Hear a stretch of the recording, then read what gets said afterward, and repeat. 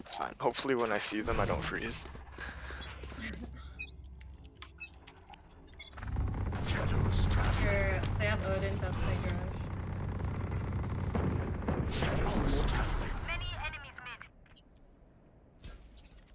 Welcome to late night bullshit. It's not even 12. They're outside garage. Darren, yo! Got him with the wall, man. Walt and your mom.